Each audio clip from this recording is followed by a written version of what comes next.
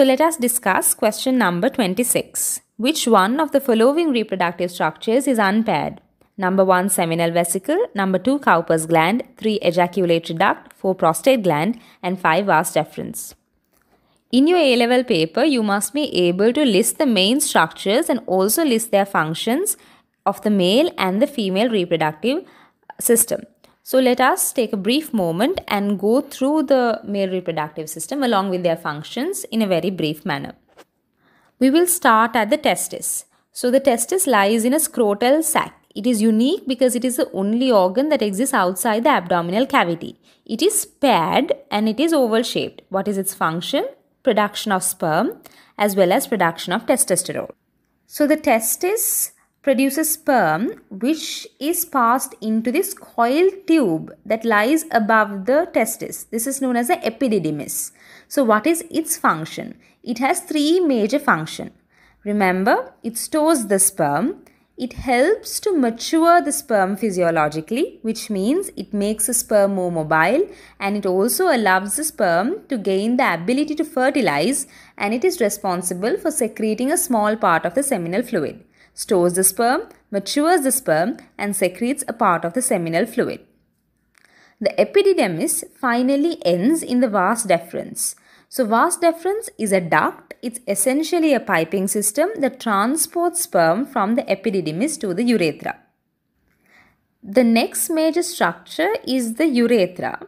The urethra starts from the urinary bladder and passes through the prostate gland into the penis. Its function is transporting both urine and semen. So what is the responsibility or what's the function of a prostate gland?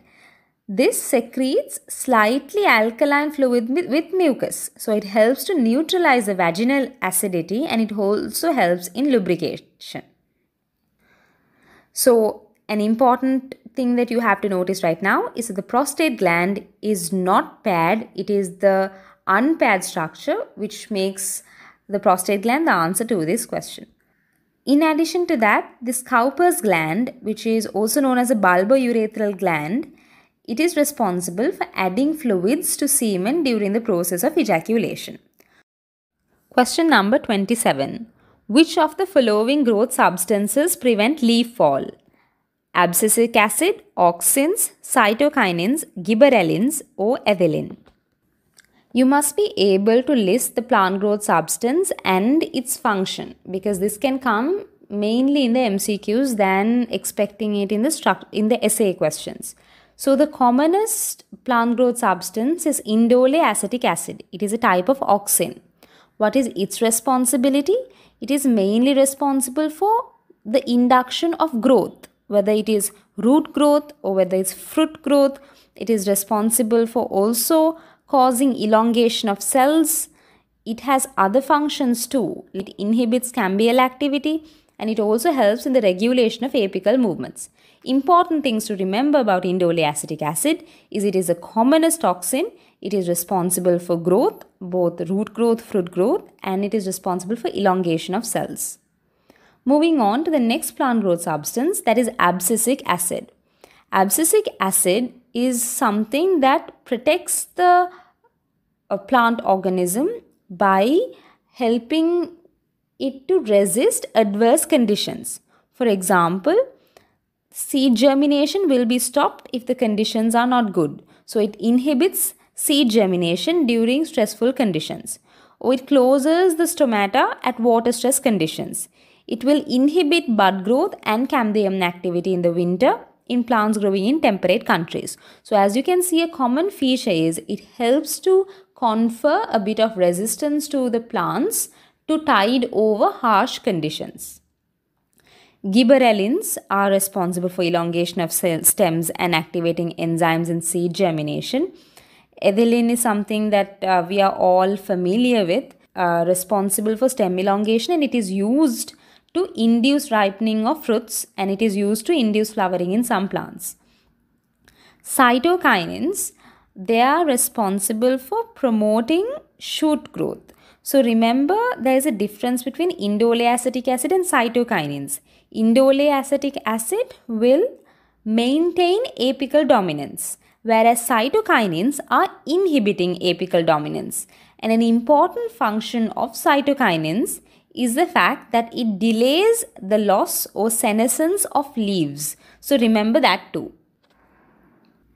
So question number 27, which of the following growth substances prevent leaf fall? The answer is 3 cytokinins. Question number 28. Two true breeding plants, one with blue flowers and one with white flowers were crossed. The F1 offspring of this cross produced light blue flowers. When the F1 progeny was self-crossed, 1 is to 2 is to 1 ratio of plants with dark blue, light blue and white flowers was observed. What genetic character is shown by these results? So there are a few pointers in the question itself that you need to focus on. Number one, it's purebred plants, which means that the genotype is going to be either purely recessive or purely dominant. And when the flowers were crossed, you got a phenotype in the next generation, in the F1 progeny, which was neither the dominant or the recessive phenotype. So you got kind of a mixture. And then when you crossed it again, you got a 1 is to 2 is to 1 ratio of dark blue, light blue and white flowers. So this is a typical example of incomplete dominance, which I will talk to you in the next slide.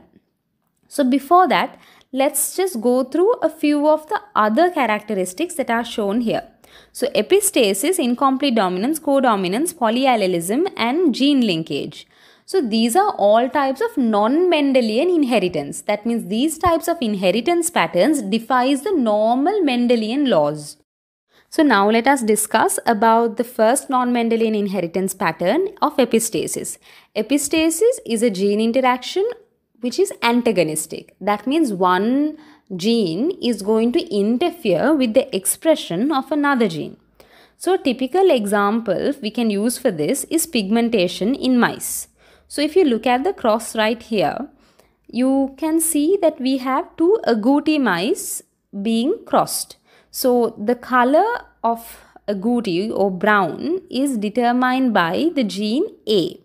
So the brown is dominant whereas a simple double A is recessive. But you can observe if you key, if you keenly observe here, you can see that if you need a color, whether it is brown or whether it is black, if you need a color, you definitely need the presence of C, a capital C. The moment you do not have that particular gene occurring, if you have two simple C's, irrespective of what your A is, whether it is dominant, whether it is recessive, you will not get a color. What this means is if you have a gene with two C's, irrespective of what occurs on the other loci, whether you have capital A, a dominant A or a recessive gene, you will not get the color. So this means a separate gene is essential for pigment production. So now if we move on to the next non-Mendelian inheritance pattern, which is incomplete dominance. So we will focus on this flower right here. So you have a purebred red plant and a purebred white flower being crossed. And the result of it is neither red nor white. You get a mixture of it which is pink. So this is a type of incomplete dominance. And if you focus on a self cross and you get it here again, you can see that whenever you have a pair of the recessive and the dominant um, genes, you will not get one over the other. You will get a mixture of both in a 1 is to 2 is to 1 ratio. So this is an example of incomplete dominance which was shown in the question and therefore is the answer to that particular question. To breeze through a few other non-Mendelian inheritance pattern, one of which is codominance. In codominance, both alleles are going to be expressed phenotypically. That means there is no one dominant gene. It's not a mixture, both will be expressed. So for example, uh, your blood group ABO, so A and B can occur together in an AB blood group without one being dominant over the other. And the other example is gene linkage. gene linkage is against the Mendelian principle of independent assortment, which means that the genes will redistribute independent of each other. But they have noticed that when you cross people repetitively, certain characteristics have a tendency to occur together. For example, you can get blue eyes and blonde hair or brown eyes and black hair or brown hair. So certain characteristics occurs together. So there is a tendency for one assortment to influence how the other one will get assorted. So this is another example of non-Mendelian inheritance. So question number 29 is an easy question. So which of the following combination of triplet codes in the corresponding mRNA and tRNA is a correct representation of the triplet code CAT or CAT in DNA? So few you only need two principles to be able to answer this question. First thing that you need to know is that the mRNA is complementary to the DNA and the tRNA is complementary to the mRNA. And the other thing you need to remember is that your RNAs do not have thymine and instead they have uracil.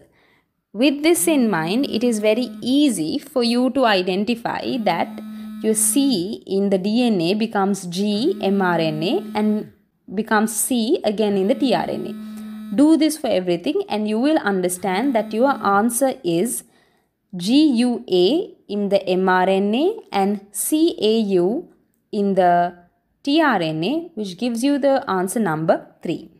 So discussing question number 30. It is also a genetics question. So a cross between pureline short black hair and pureline long white hair guinea pigs produce short black hair offspring in the F1 generation. So like I told you before, pureline means that the genotype is purely recessive or purely dominant.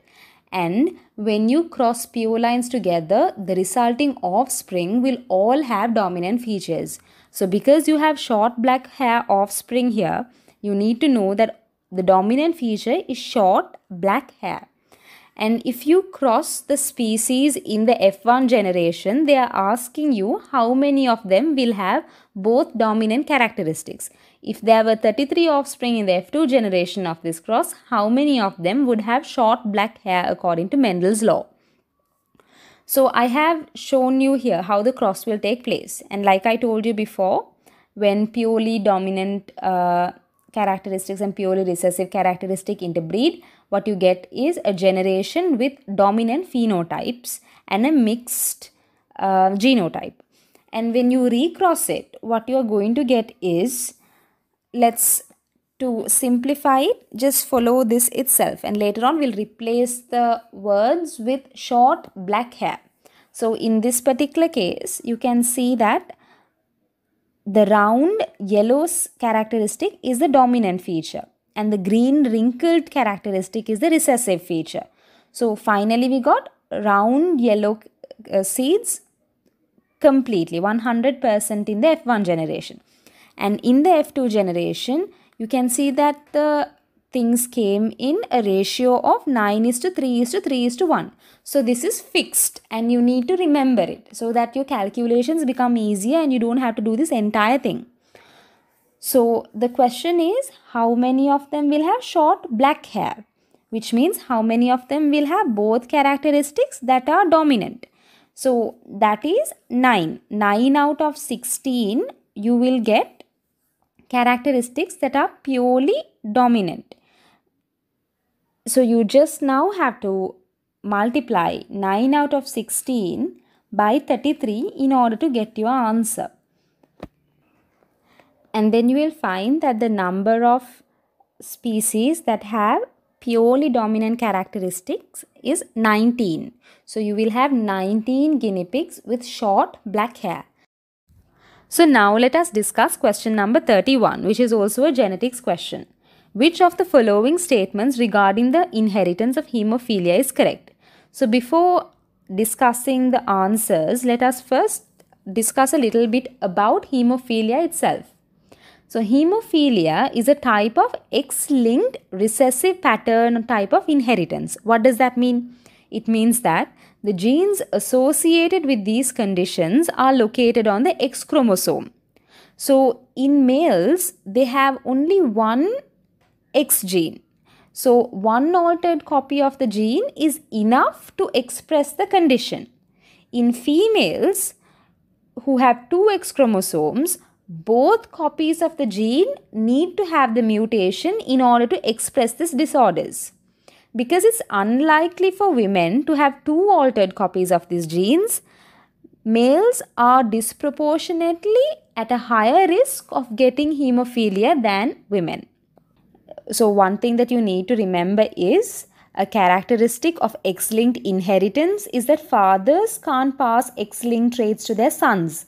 It is the mothers who pass the X-linked trait to the sons. So if you have an affected father with hemophilia, remember that the sons will not get the disease unless the mother has the disease. So I will be discussing the answers in terms of the common crosses that you have to consider. So first cross that you need to consider is for answer number 2 and answer number 5. That is what will happen if a carrier woman marries a hemophilic man. So now that the father has hemophilia, there is a X chromosome that has the mutated gene and the mother is a carrier so she also has one X chromosome with the mutated gene but she is a carrier and not a person with a disease because the other X chromosome is there to suppress that phenotypic expression. So if you look at the crosses here, there is a chance that the son might get or might not get hemophilia. Why? Because the son gets the X gene from the mother. So there's a 50% chance that the mother can give and there's a 50% chance the mother can't give depending on what X gene is received. So therefore the sons have a 50% chance of getting the disease. So answer number 5 is wrong. If a carrier woman marries a hemophilic man, all of the sons will be hemophilic is wrong. There's a 50% chance. And answer number 2 is that 50% of their children would be normal. So, as you can see in this cross here, there is a chance for one of her daughter to become a carrier and one of her daughter to become a person with the disease. Either way, both daughters are going to be affected somehow because they, without any doubt, have gotten the mutated X gene from their father. So, because of that, neither daughter is normal. So, because of this, we have to consider that there is only a 25% chance that the children will be normal because you have one carrier and two people who have the chance of expressing the phenotype and only one person to be normal. So answer number 2 and answer number 5 have to be rejected on those grounds. Let's now move on to the other answers that discusses about the inheritance of hemophilia. So what will happen if a carrier woman marries a normal man? So look at the cross right here. So because the man is normal, the, there will always be a healthy, non-mutated, normal X gene in the daughter. Because of this, there is no chance for the daughter to ever phenotypically express the disease. So therefore, the children will either be normal or either be a carrier if it is a daughter. Whereas in the son's case, there is a 50% chance that the son can get the disease or 50% chance that the son won't get the disease because the mother is a carrier and she is not a person with the disease. So she can either give the son the mutated X gene or she can give the healthy X gene. Therefore, there's a 50% chance that the sons would be hemophilic. Because of this, there is only a 25% chance that you have a child who is hemophilic and that is definitely going to be a son. So if a man uh, carry a carrier woman marries a normal man, 50% of their children will be hemophilic. That answer is wrong. And if a carrier woman marries a normal man, 50% of their children will be normal is correct because you can get one carrier and one person with the disease, but two children will be perfectly normal. And therefore, answer number 4 is correct. So for completion's sake, let's also discuss answer number 3. If a normal woman marries a hemophilic man, 50% of their sons would be normal. So the mother does not have the disease. What does that mean? That there is no chance for the sons to get the X gene that has a mutation. So, as long as the woman is normal, there is 0% chance for the son to get the disease. Remember that. And you do not have to do an extensive calculation. It's a disease that the mother passes to the sons. So, if the mother is normal, the children will be 100% normal as long as it's a son. So, question number 32. This is a question about evolution.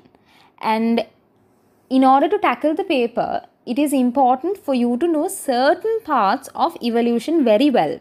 One such part is what are the evolutionary milestones that occurred in specific eras in specific periods of time. So, for convenience sake, you know that the evolutionary history has been divided into 4 eras and 11 periods. So, you need to remember what happened during what, what era and what period. During the Archeozoic era, there was a period known as a Precambrian period. During this time, bacteria and protists were the only living organisms that were present. In fact, photosynthetic organisms came only about 2.7 billion years ago. Before that, it was only bacteria and protists in the Archeozoic era. Following that, you had the Mesozoic era. During this period, a large number of things happened. So, the word that we are all accustomed to, the Jurassic world, Jurassic Park. So, because of that, the word Jurassic is always associated with dinosaurs. However, it is not in the Jurassic period, it was in the Triassic period that reptiles, through adaptive radiation, became dinosaurs. During this time, in addition to dinosaurs, another group of animals came to be, and that was the mammal group. And although mammals are really dominant in the world today, during the Triassic period, mammals played only a very small role. In addition to that, during the Mesozoic era, there was a Cretaceous period where a large number of things happened. So, dinosaurs peaked, flowering plants, placental mammals, and early fish, these were all evolutionary milestones that the Cretaceous period came across. And Again, for completion's sake, remember that conifers and insects came during the Permian period of Paleozoic era. So now let's just go through the answers. Now let's go through the answers of question 32. Dinosaurs appeared during the same period mammals appeared. The answer is true. Insects appeared during the Paleozoic era. It is true. Modern fish appeared in the Mesozoic era. That is also true. Placental mammals originated during the Cretaceous period. That is true. Conifers appeared during the Mesozoic era. That is false. It occurred during the Permian period of the Paleozoic era about 280 million years ago. So the false answer or the incorrect answer is answer number 5. Let us now discuss question number 33. Which of the following terrestrial biomes shows the least variation in temperature? Temperate grasslands and temperate broadleaf forests, these both have distinct seasons. And because of that, they do show a variation in temperature. Coniferous forests also with their warm summers and cool winters also show variation in temperature. Tropical forests on the other hand are something like incubators and they have the least variation in the temperature. This is what allows all the plants to grow at a constant steady state and this is what has conferred its unique characteristic of having the highest level of biodiversity in the world. Deserts show variation in temperature through the night as well as through the day. So the correct answer for this is answer number 4 tropical forest. Question number 34 which of the following regarding the phosphorus cycle is correct? So phosphorus cycle, like the nitrogen cycle, is a biogeochemical process by which phosphorus is moved across the lithosphere, biosphere and hydrosphere. The atmosphere does not play a role in the movement of phosphorus. That is an important differentiating factor of the phosphorus cycle compared to nitrogen cycle or the oxygen cycle. Number 1. Largest accumulation of phosphorus is in the soil. This is false. most of the phosphorus is found stored in rocks and minerals in rocks. HPO4 2 minus is the most abundant form of inorganic phosphorus in the phosphorus cycle. Again, this is false. It is phosphate PO4 3 minus that is the most abundant form of inorganic phosphorus. Number 3 is false as I said before because an atmospheric phase is not significant or absent in the phosphorus cycle. Plants absorb phosphorus in the form of H2PO4 minus. This is true. Plants absorb either H2PO4 minus or HPO42 minus depending on the soil pH and soil conditions. But in the solution form, they do absorb phosphorus in the form that is given in this answer.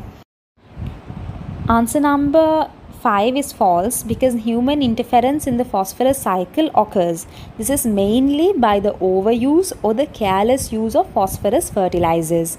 So the final answer for answer question number 34 is answer number 4.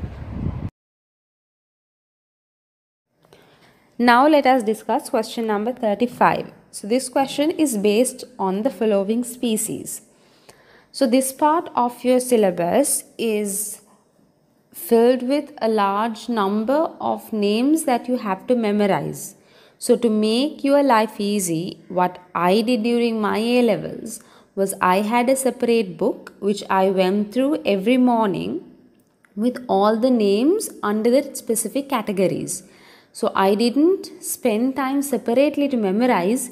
Instead, every morning I would simply go through the book, and because of repetition and because of familiarity, I was able to remember this for the end of the exams because there are so many names, so many species, and the spellings are important. I recommend this method instead of just memorizing it over and over. Familiarity is the key in order to um, get the ability to answer a question like this. So, yes, let's go on. Which of the following statements regarding the above species is correct? Two of the above species are invasive. So, definitions are extremely important and you all have to remember the exact words because they give marks according to specific keywords that essentially have to be there in order to get that mark. So, let's first define what an invasive species is. So invasive species should be a non-native species. What do I mean by non-native species? That means they should have been introduced from a different country. It shouldn't be from our own grounds. And this non-native species should be able to spread beyond where it was introduced. And then it also has to get established in a location. So it has to be a non-native species that spreads beyond its introduction site and it has to get established in new locations. And a feature of invasive species is that it grows by taking up nutrition, taking up space where other local biodiversity is usually there. And because of this, it could have a destructive effect on the local biodiversity. So remember to write these four key points when you are defining what an invasive species is. So this is a list of the invasive species. It is important for you to know these because there will be MCQs like the one we just encountered. So just for your interest, take a minute later on and try to identify these photos and link it to the names that are given under the invasive species. A little bit of home, homework for you all.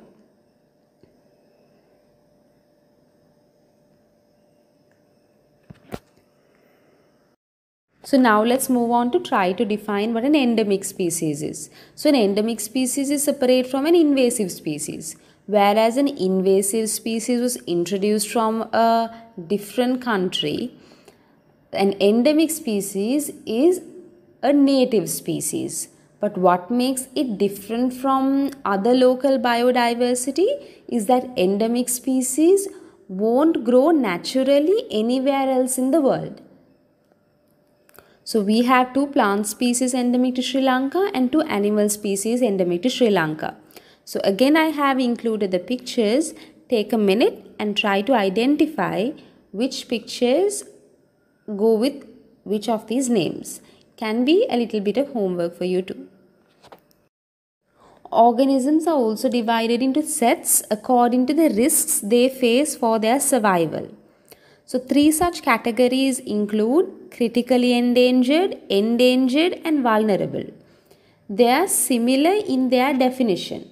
The difference is the spectrum of risk that they face. For example, critically endangered means that the organism is facing an extreme risk, endangered, very high risk, and vulnerable, high risk. So the definition changes only by one word. Critically endangered, best available evidence shows that the organism is at extreme risk in living in the wild. Endangered, best available evidence shows that the organism is in very high risk in living in the wild. And vulnerable means the best available evidence shows the organism is at high risk in living in the wild. What are the critically endangered creatures in our country? So we have the Macrognathus aral, which is a lesser spiny eel, and Dermochelys coriacea, leatherback turtle. So I again as I said before keep on repeating it so that you all will remember. And the vulnerable species in our country is the Asian elephant that is the Elephas maximus. Finally, we will talk about extinct species. So what do you mean by a species that is extinct? In order to categorize an animal under this category, there should be no doubt that every last individual from that species has died. For example, the dodo, uh, the woolly mammoth, and Sri Lanka's own southern shrub toad, all these are categorized as extinct because beyond any reasonable doubt, we know that every last individual organism from this species has died.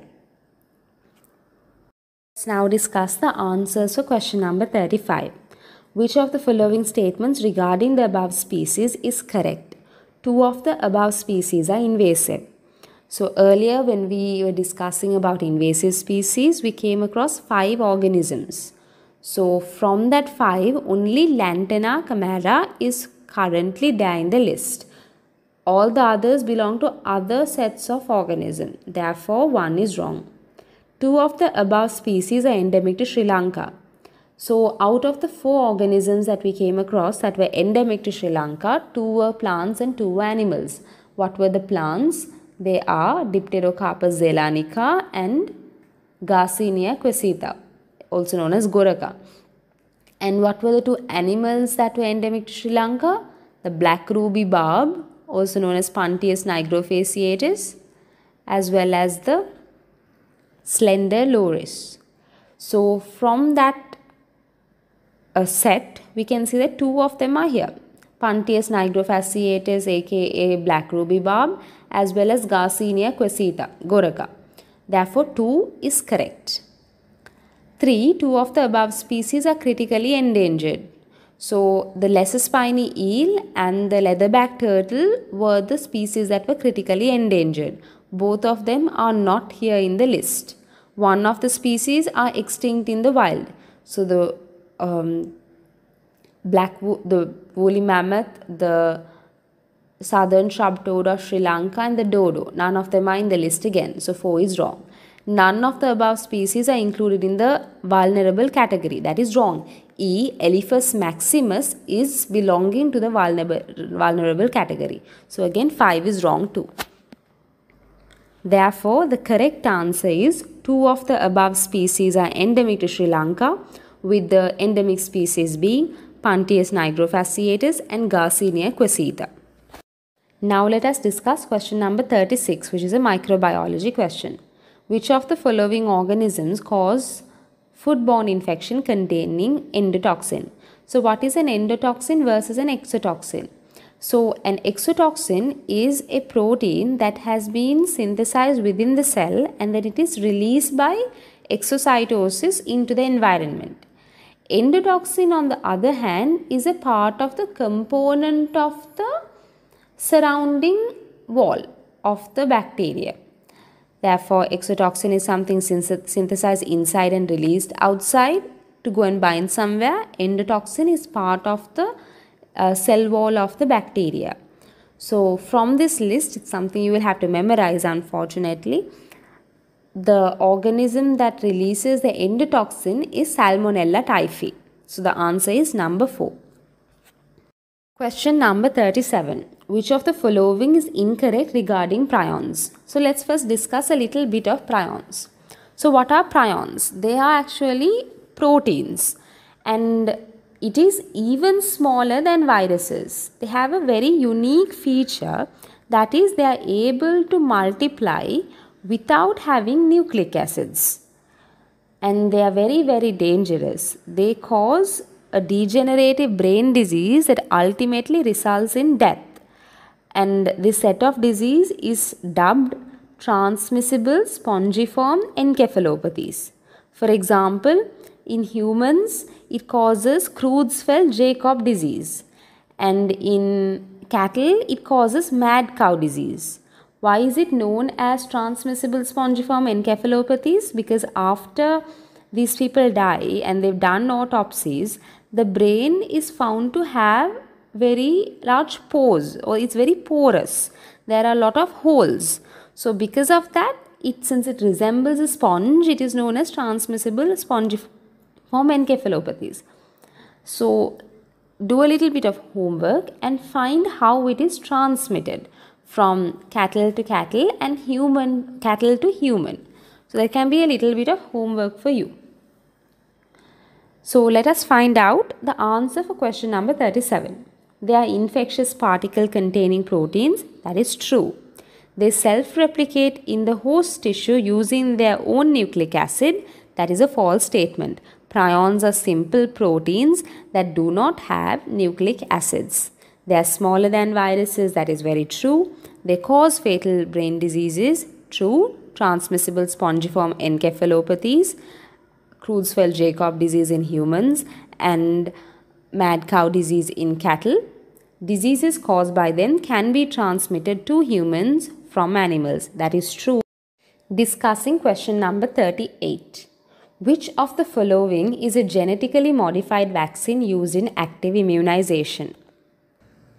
So they are speaking about active immunity. So how is active immunity different from passive immunity?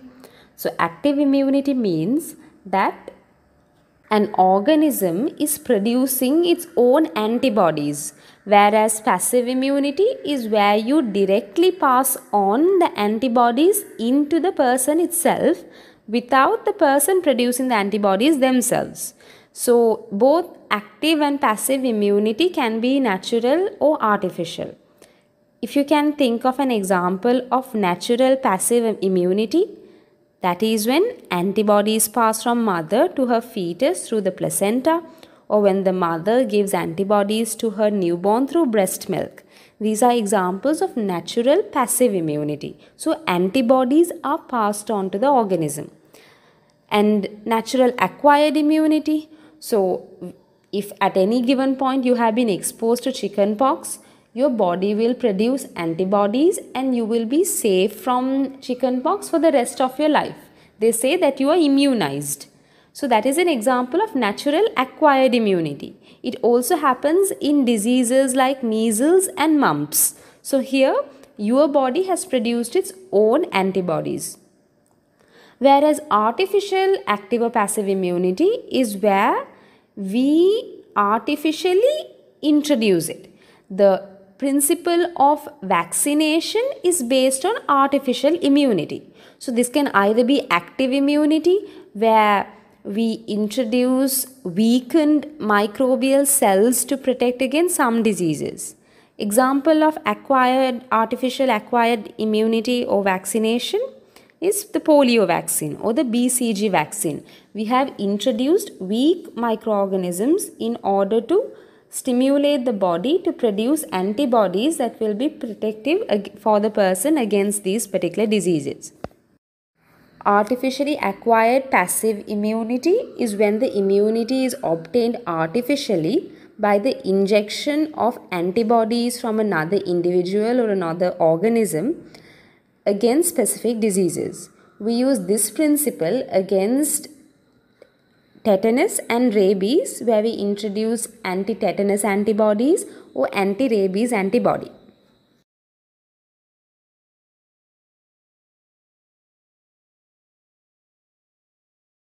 Which of the following is a genetically modified vaccine used in active immunization?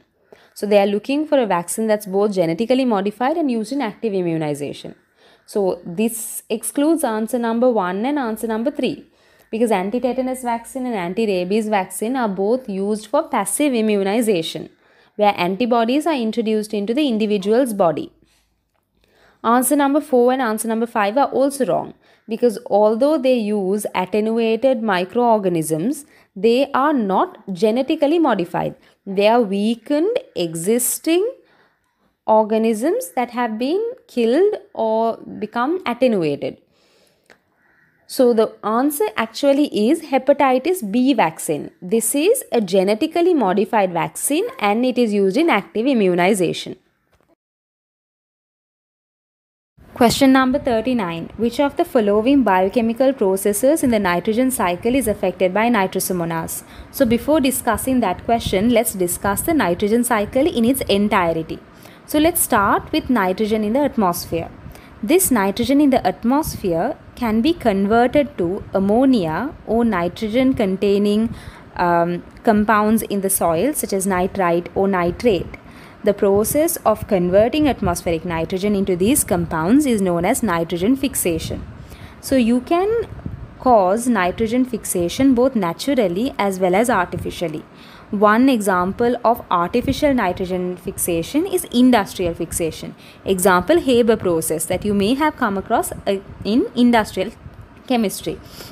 So in Haber process, nitrogen and hydrogen are combined in order to form ammonia. Other than that, you also have bacteria, both mutualistic bacteria and free living bacteria that can cause this conversion. Lightning also can combine oxygen and nitrogen in order to form uh, nitrate. So these processes will result in nitrogen in the atmosphere becoming all these compounds such as ammonia, nitrite and nitrate. So what are the uh, processes of nitrogen fixation that causes nitrogen to become ammonia. So as you can see in this diagram here, 1, 2 and 3.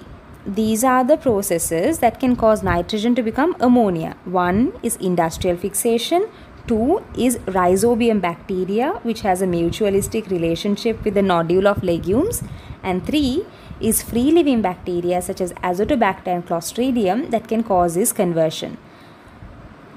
Nitrate is obtained by lightning as well as industrial fixation. Now let's start from this point of ammonia. So ammonia or ammonium compounds can be converted into nitrite by nitrosomonas bacteria and nitrite can be converted into nitrate by nitrobacter. So this process of conversion of ammonia into nitrate through nitrite is known as nitrification and the nitrifying bacteria involved are nitrosomonas and nitrobacter. So remember what does nitrosomonas do and what does nitrobacter do. So if there is a process of nitrification, there is going to be a process of denitrification and there are bacteria involved in denitrification. These include the Thiobacillus denitrificans and the Pseudomonas denitrificans. So this brings the nitrogen in the atmosphere through nitrate back into nitrogen in the atmosphere in a full circle. There are nitrogen containing compounds such as proteins and nucleic acids in plants and microbes. So they, since animals eat the plants and microbes, they also have the nitrogen containing compounds such as proteins and DNA or nucleic acid in them as well. So when these organisms die, the nitrogen in them is now going to be found in dead organic matter. In addition to them, that the nitrogen containing compounds can also be excreted in urea as well as in feces. So it is also found in excreta. So this dead organic matter and excreta are acted upon by saprophytic bacteria and fungi and they convert these nitrogen containing compounds into ammonia. This is one other way by which ammonia containing compounds are brought to be. So let's now see the answers for question number 39. Number 1. Proteolysis. Proteolysis is brought about by saprophytic bacteria and fungi. They are decomposers. Nitrification. Yes, the process of converting ammonia or ammonium compounds into nitrates, which is one step of nitrification, is done by nitrosomonas. Denitrification. No, denitrification is done by Thiobacillus denitrificans and Pseudomonas denitrificans. Nitrogen fixation. So, nitrogen fixation is also brought about by bacteria, but it is not Nitrosomonas, it's Rhizobium, Azotobacter, and Clostridium. Ammonification. Ammonification is performed by bacteria to convert organic nitrogen to ammonia. So, this is also done by the decomposers. So the answer therefore in the end is going to be answer number 2 nitrification. Which of the following microorganisms are used in biological extraction of metals from low grade metal ores? So microorganisms have always been used in commercial use because of its low cost as well as high production output. So let us go through the answers to find which one is the right one. Pseudomonas aeruginosa. So this is not something that is used commercially, at least within your syllabus, as I know. Bacillus thuringiensis. So they have used this bacteria and they've gotten certain genes from this bacteria to incorporate into plants such as cotton and soya because it gives those plants an ability to resist attacks from insects. But it is not used in the for the purpose that this question is asking. Aspergillus oryzae so aspergillus is a microorganism that is highly used in order to extract enzymes enzymes such as amylase and proteases so aspergillus oryzae is important for the production of enzymes commercially thiobacillus ferrooxidans so this is our answer. You have a clue as well. Ferro-oxidant. So it is essentially oxidizing iron. So thio is generally for sulfur. But in any case, thiobacillus ferrooxidans, even if you have not studied this, the name itself should give away that it is involved in something of uh, concerning metal. So thiobacillus ferrooxidans and thiobacillus thiooxidans, these are used in extraction of metals like copper. Lactobacillus bulgaricus. So Lactobacillus bulgaricus is used in commercial production of lactic acid. If you can remember some of the uses that we have spoken just before, that is hepatitis B. Hepatitis B is used commercially for active immunization against that disease.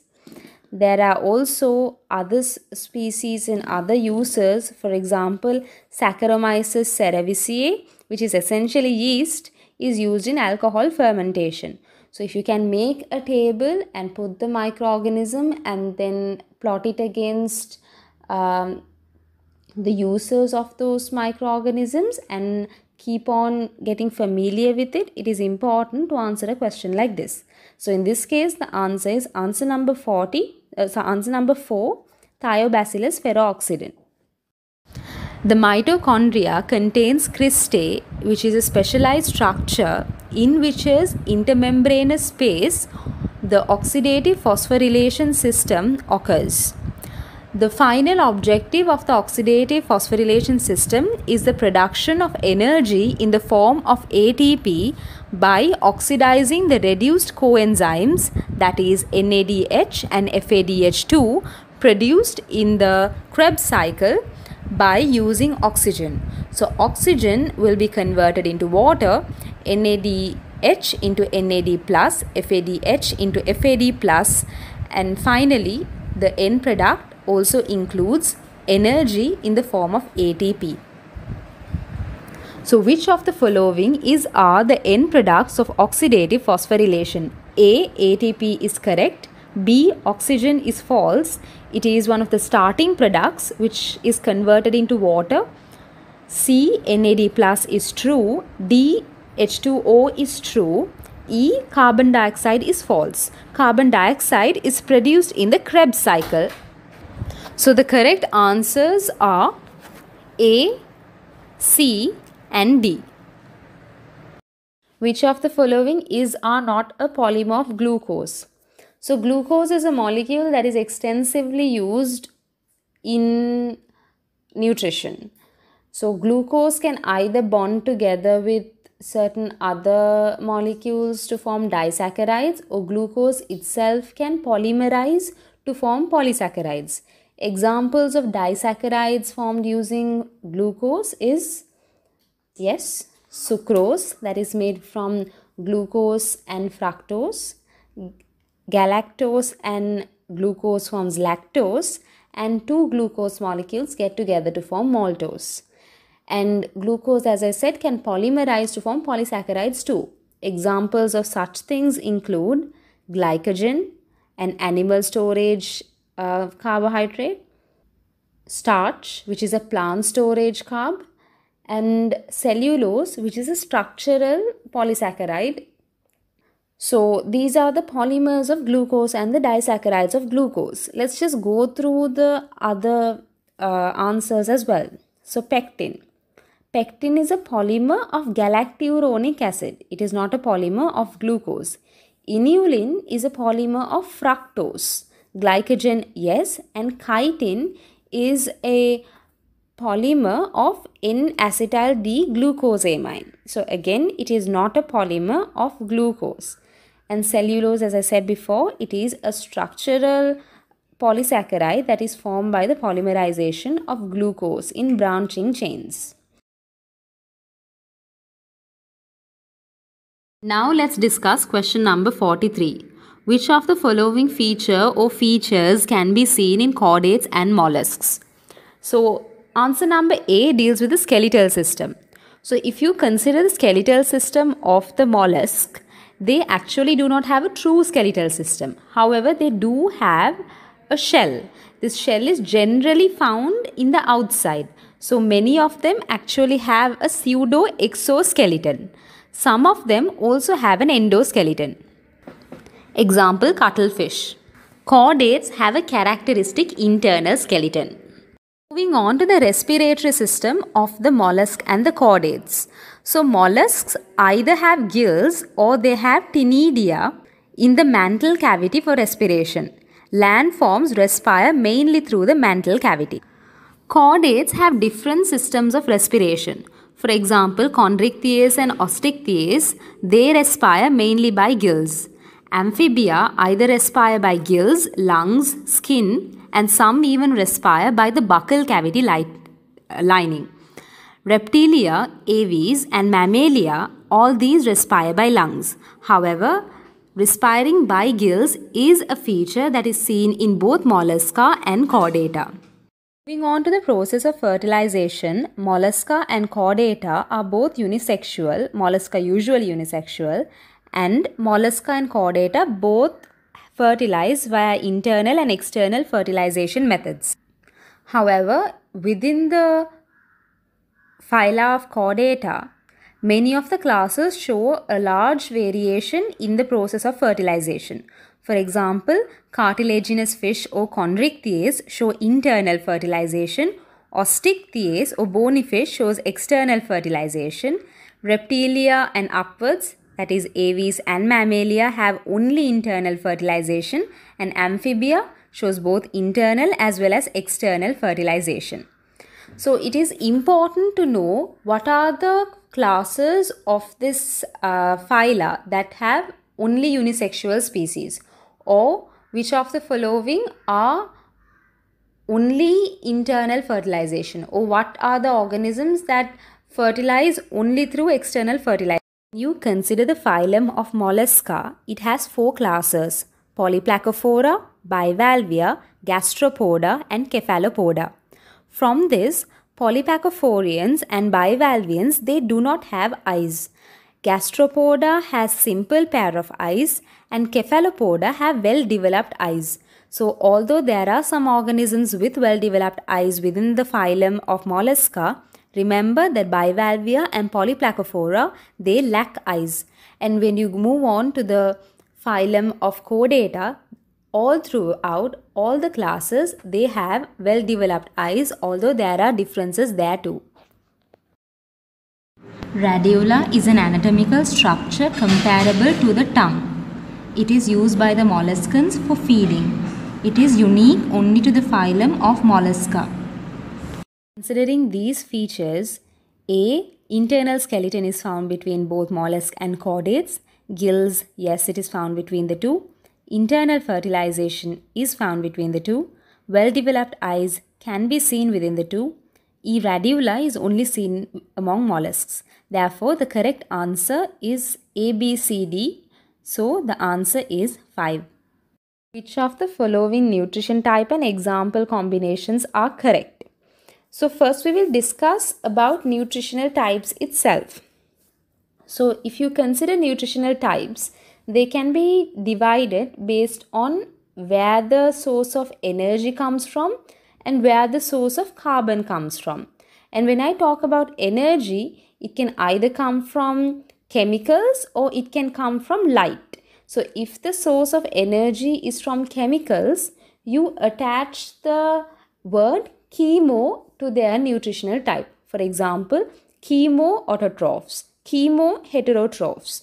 These obtain their energy from chemicals as opposed to light. So if they use light as their source of energy, you have to include the term photo. For example, photoautotrophs and photoheterotrophs. Next is their source of carbon. So the source of carbon can be from an inorganic source or an organic source. The inorganic source commonly used is carbon dioxide. So organisms that use inorganic sources are known as autotrophs and organisms that use an organic source is known as heterotrophs. Putting these together, you can form the nutritional type you consider heterotrophic nutrition, they can be further divided into three types. They are saprotrophic, holozoic, and symbiotic. Saprotrophic nutritional mode mainly depends on dead things. So fungi are generally saprotrophic. So mucor is an example of a fungus which is saprotrophic. Most organisms, at least in the higher part of the evolutionary chain, they are holozoic, which means that they take food and then they uh, digest the food, they absorb the nutrition from the food, they assimilate it into their nutri- nutritional requirements, and finally, the remnants are ejected through the uh, undig- as undigested matter. So, if you take humans, for example, we ingest, digest, absorb, assimilate, and finally eject. So, this generally involves an alimentary canal. Then the final nutritional mode is symbiotic. Symbiosis can also be divided into three mutualism, parasitism, and commensalism. Mutualism is where both organisms are benefited Parasitism is when one organism is benefited and one organism is actually harmed. Commensalism is where one organism is benefited and there is no effect on the other organism. But in order for this relationship, either mutualism, parasitism, or commensalism, to be categorized as symbiotic, it is essential that the organism in the relationship need to be from different species. So think to yourself again as to what kind of relationship the hermit crab and the sea anemone shares. Now let's discuss the question's answer. Cuscuta is not a symbiotic relationship. It is a parasitic relationship. Photoautotroph, purple non-sulfur bacteria. That is not true. We saw in the examples before. Purple non-sulfur bacteria belongs to the nutritional type of photoheterotrophs. Saprophytic mucor, that is a correct combination. Chemoautotrophic is Nitrobacter, that is a correct combination. Holozoic Drosera, it is also correct. Drosera is an example of an insectivorous plant. Insectivorous plants are also categorized under Holozoic nutrition. Therefore, the answer is answer number 5. Now let us discuss the answers for question number 45. Pumping of sodium and potassium are interdependent. So in order to maintain the resting membrane potential, the cells need to keep a very low concentration of sodium ions and a high level of potassium ions within the cell. In order to do this, the sodium potassium pump mechanism moves 3 sodium ions out and 2 potassium ions in. Thus, totally they remove one positive charge carrier from the intracellular space. The sodium potassium pump is located in the neurilemma.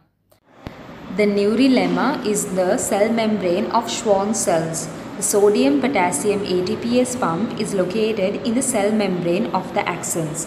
Therefore, this statement is false.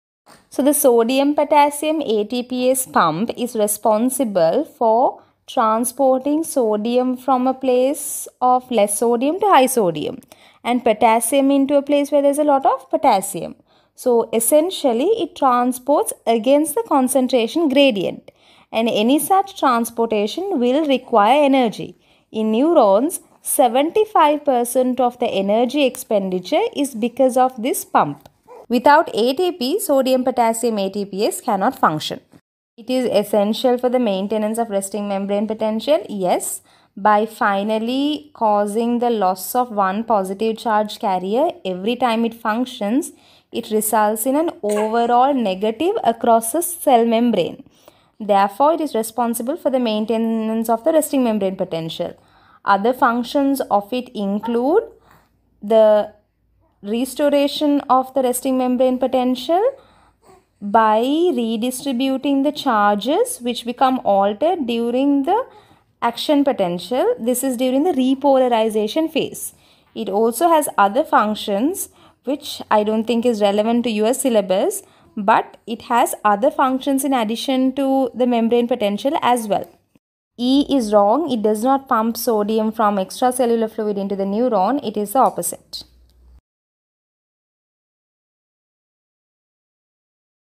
Question number 46. Urine output of a healthy adult person depends on which of the following? A. ADH level in blood. So there is a process known as osmoregulation. Osmoregulation ensures that the total volume of its blood plasma and concentration of its dissolved substances in both the plasma and tissue fluids are always constant. There are two ways by which you can achieve this. One is you can control the amount of water in your body. Two, second method is you can control the amount of salt that is gained and lost by the body. So, osmoregulation plays an important role in how much urine is produced by a person because it is urine production that is the main method of maintaining the osmolarity of the uh, blood plasma as well as tissue fluid. So the mechanism involving in osmoregulation takes place in the kidney with the help of ADH hormone. So ADH also known as antidiuretic hormone is produced by the hypothalamus, it is stored by the posterior pituitary and it is released in response to changes in the blood osmolarity.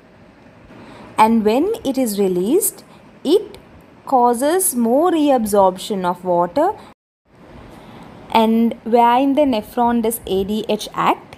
ADH acts in the distal convoluted tubule as well as in the collecting duct. These parts, that is the distal convoluted tubule and the collecting duct, absorbs water only in the presence of ADH. The functioning of the hypothalamus. So like I told you before, ADH is actually produced in the hypothalamus. In addition to that, the thirst mechanism is controlled by the hypothalamus as well.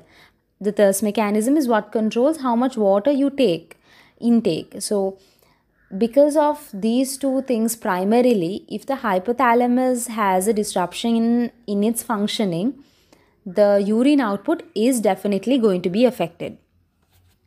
Functioning of the PCT is important because obligatory reabsorption of water where 80% of water is absorbed irrespective of the water content of the body takes place in this place.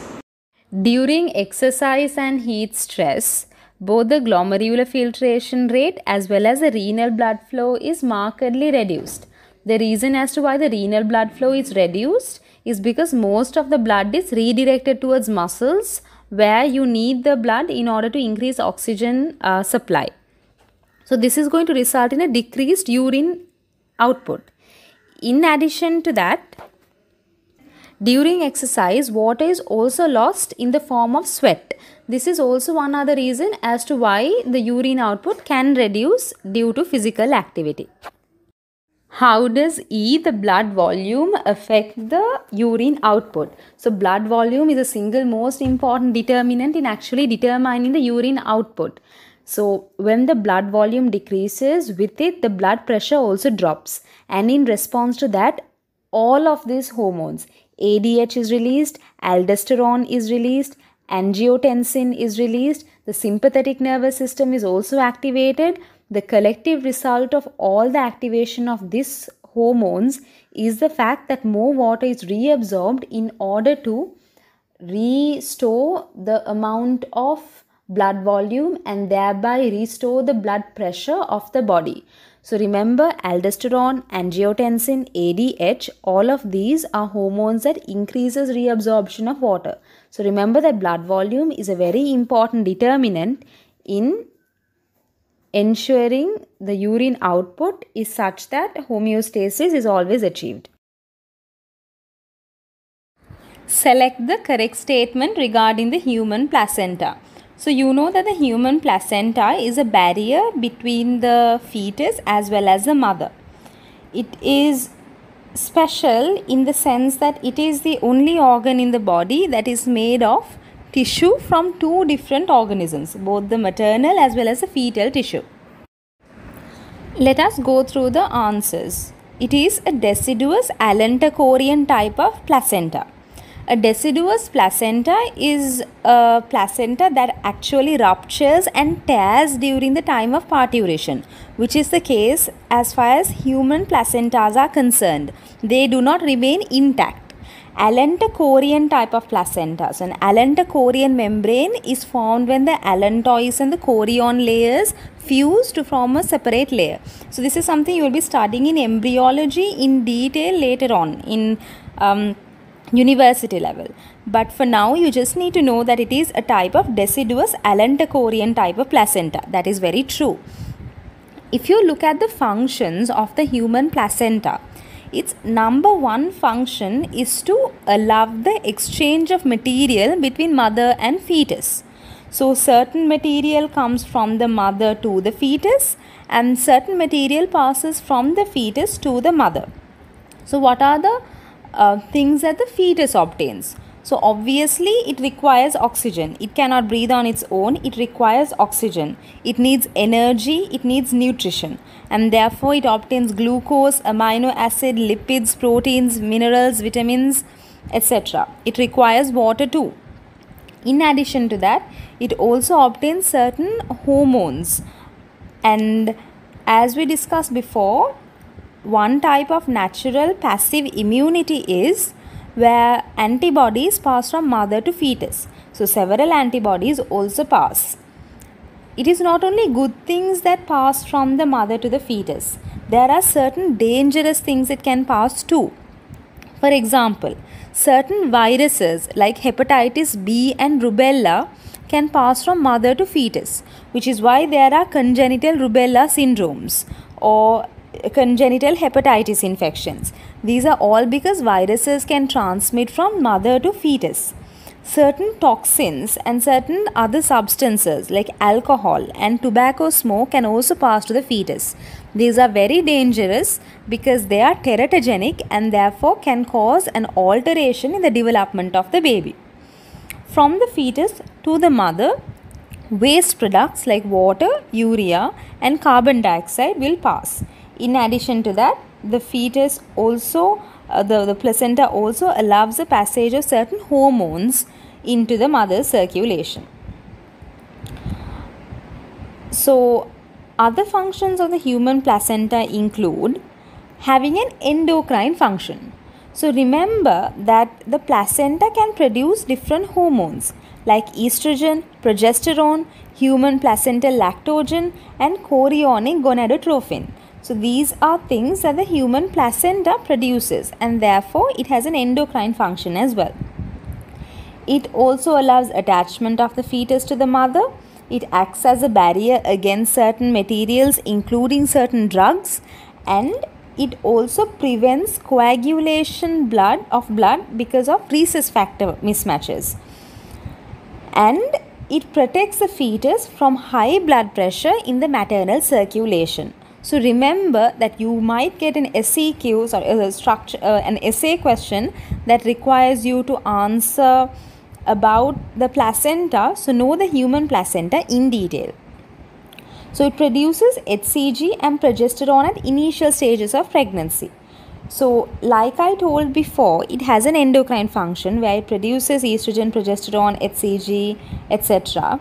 But HCG is produced early in the pregnancy, but progesterone is not produced in the initial stages of pregnancy. It comes in later stages of pregnancy. It prevents mixing of fetal and maternal blood. That is true, and that is one way by which it is protecting the uh, fetus from both the rhesus factor mismatch as well as certain dangerous drugs and toxins. It can produce prostaglandins, that is true, it does produce prostaglandins. It allows passage of water from mother to fetus and fetus to mother. The statement E is true because there is transplacental exchange of water as discussed before.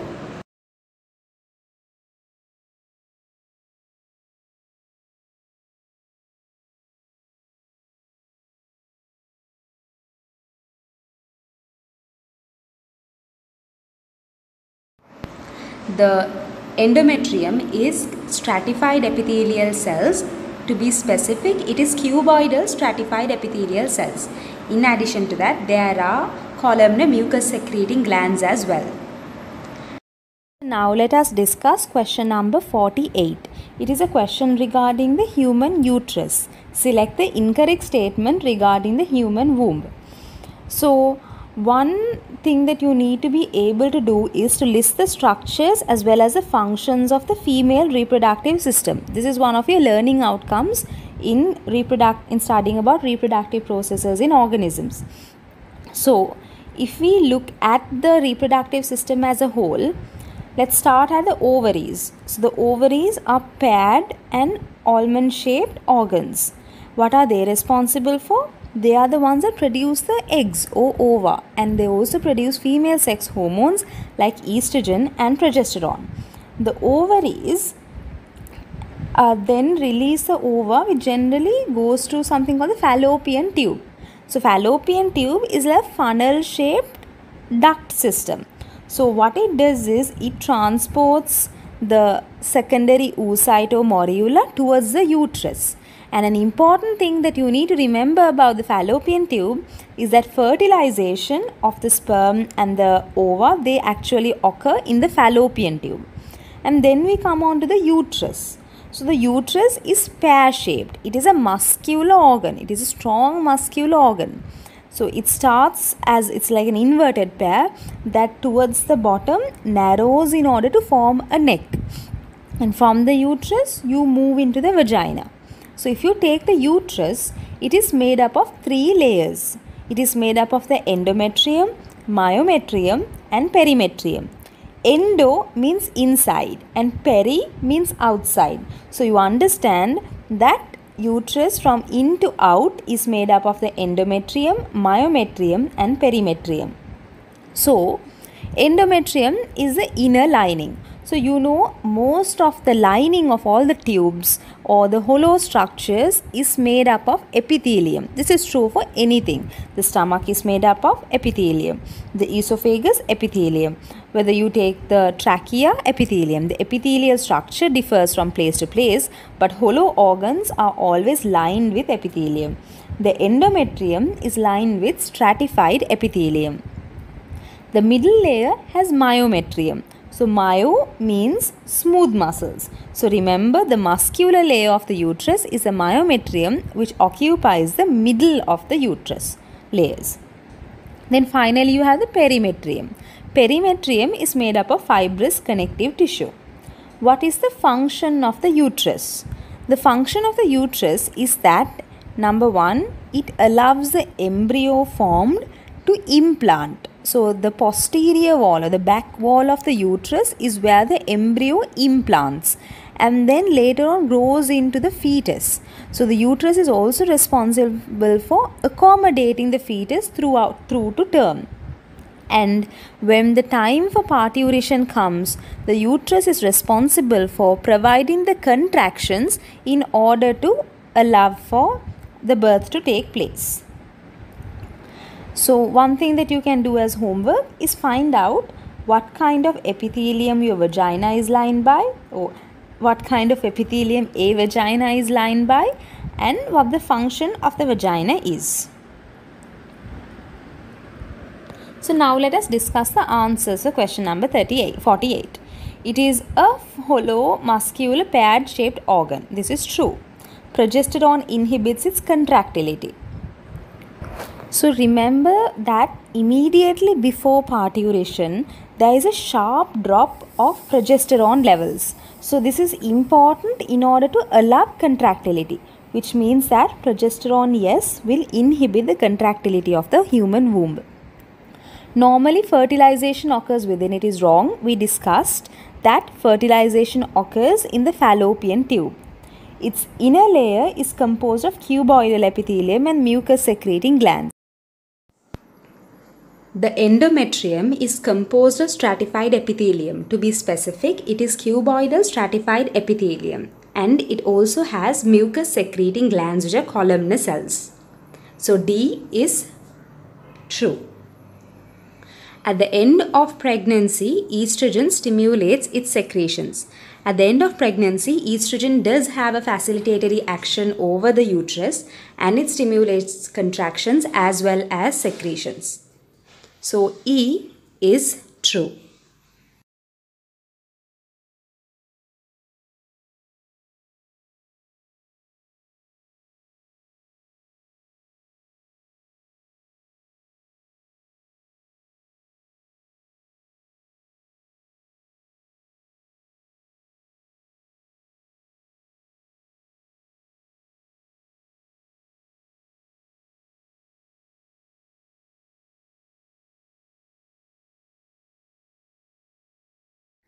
Question number 49. Which of the following features are not common to all vascular plants?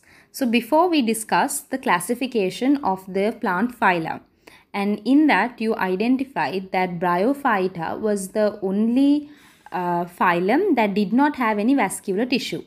Everything else from Lycophyta until Anthophyta all had vascular tissues present. They are all categorized under a single group known as Tracheophyta. What are the other features that are common amongst all of these tracheophytes? So, sporophyte being dominant is a feature that is found in all of these vascular plants. Bryophyta, if you can remember right, had the gametophytes that were dominant and photosynthetic. But Lycophyta onwards, it was a sporophyte that became the dominant generation. So these are the two features that are common for both for all the tracheophytes. Now let's discuss the answers to question number 49. What are the features not common to all vascular plants? A. Development of seeds. Yes, this is not a feature that is common to all vascular plants. It is from Cycadophyta onwards that seed-bearing plants came to be. Bryophyta, Lycophyta and Pterophyta are all seedless plants. Cycadophyta, Coniferophyta and Anthophyta are the seed-bearing plants. And for completion's sake, remember that Anthophyta are the ones that have true seeds, that is, seeds in fruits. Cycadophyta and Coniferophyta both are naked seeded plants. Alternation of generation is a type of life cycle in which there is a distinct haploid sexual phase and a distinct diploid asexual phase. So in plant language, it means that there is an alternation between gametophytes and sporophytes. And you know that this is a feature that is found in all of the plants, including bryophyta.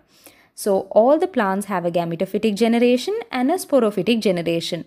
How bryophyta varies from other vascular tissue is the fact that its gametophyte is dominant.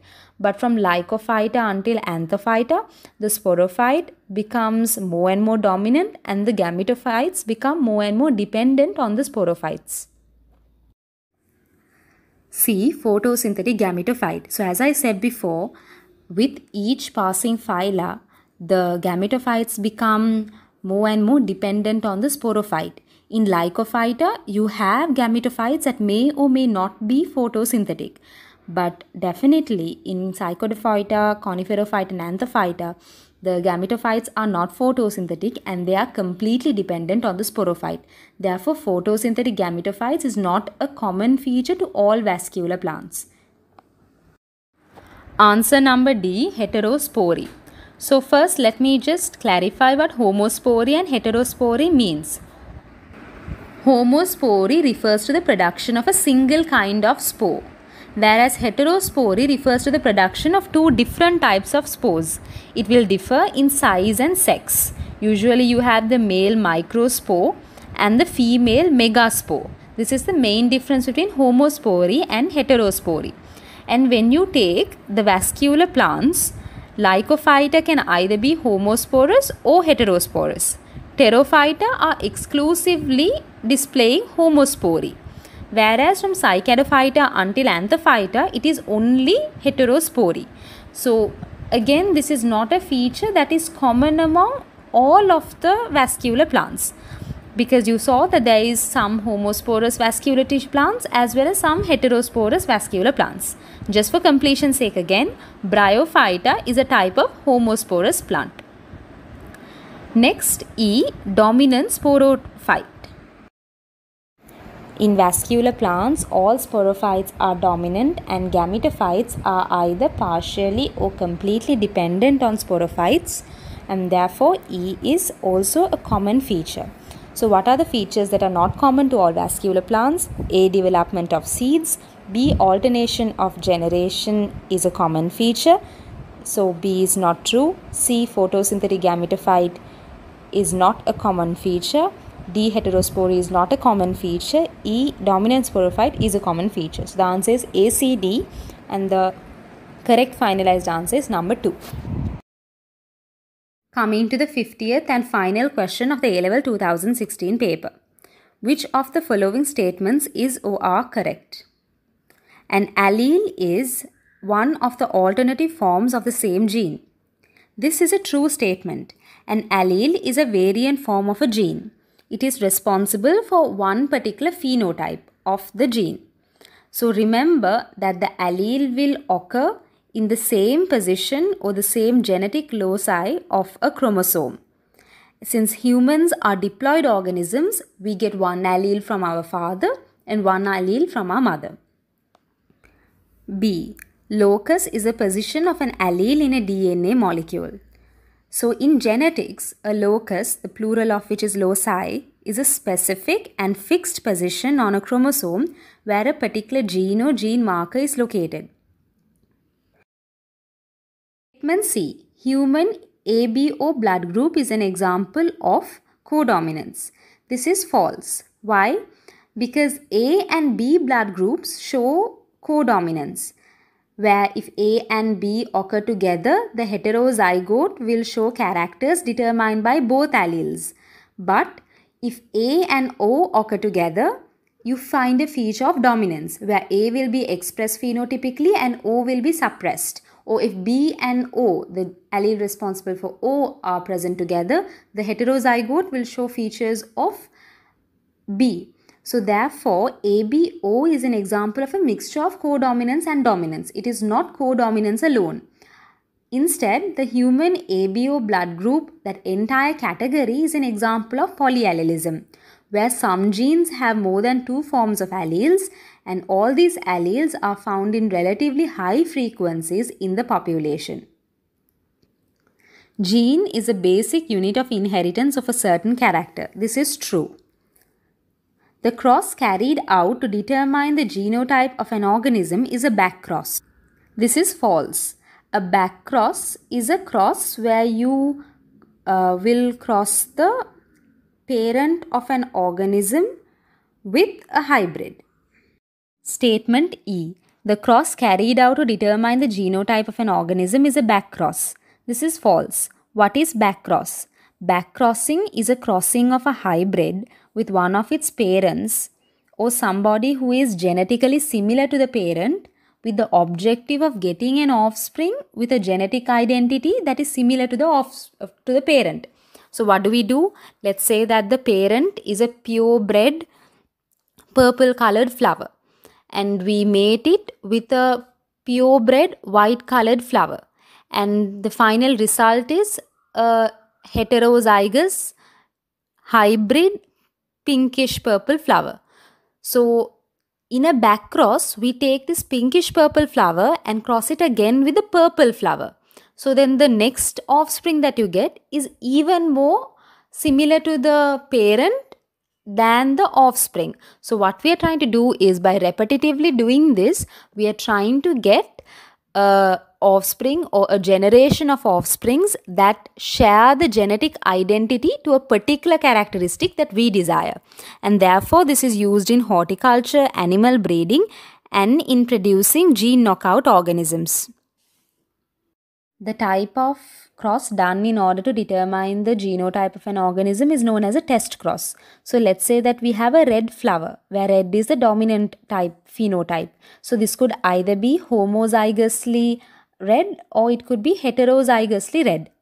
So what we do is we will be crossing this with a recessive phenotype. So we know if it is recessive, it must be homozygously recessive.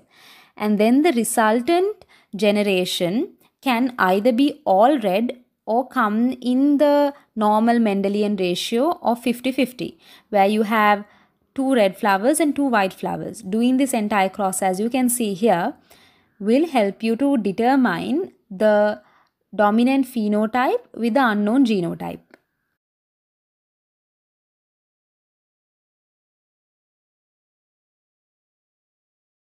So this brings us to the end of the review of the final 25 MCQ questions of the A-Level 2016 paper.